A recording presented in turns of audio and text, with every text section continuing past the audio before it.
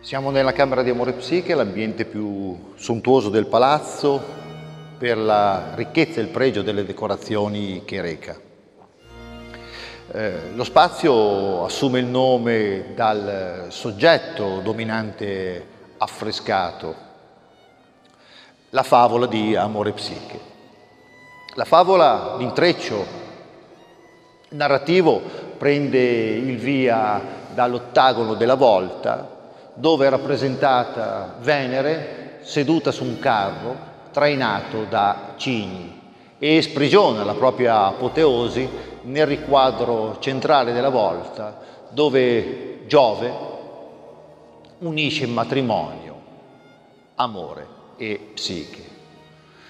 Due pareti, la meridionale e l'occidentale, raccontano i preparativi di eh, un banchetto. Le altre pareti narrano di intrecci amorosi contrastati. Una scritta dedicatoria ci ricorda la funzione del palazzo. La scritta dichiara onesto ocio, post labores, ad reparandam. Un palazzo dunque pensato e voluto dal principe Federico II per eh, i propri piaceri.